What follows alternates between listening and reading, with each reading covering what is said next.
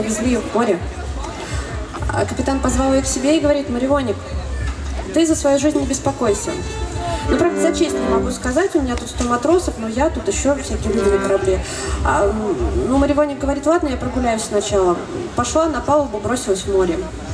А дальше есть две версии. По первой версии э, рыбка ее из моря все-таки как-то там вывезла. Маривоник пришла домой, стучалась, стучалась. Ей сказали, нету никакой Маривоник, Маривоник умерла. Но у нас более оптимистичный финал, ее все-таки выловили обратно, привели к капитану, а капитан говорит, ну слушай, я вообще-то как бы ну, жениться на тебе хотела, а ты так сразу резко. Ну, шутки дурацкие, да, что там.